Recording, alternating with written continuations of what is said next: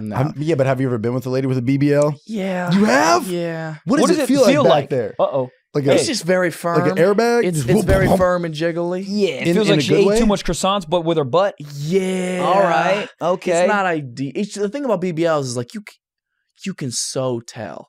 Yeah. I've yeah, never her seen a ass was like an AirPod. Yeah, you built like an ant. Like you just shaped like a lowercase b. Do, do you Yeah. feel like you have less dick being in a BBL? yeah, man. Why you?